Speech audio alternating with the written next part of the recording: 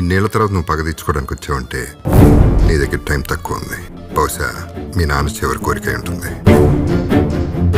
ఇక్కడి నుంచి నాన్న తీసుకునే ప్రతి ఊపిరి కృష్ణమూర్తి కౌండౌన్ ఇది గుర్తుపెట్టుకో. తర్వాత మాట్లాడుకుందాం.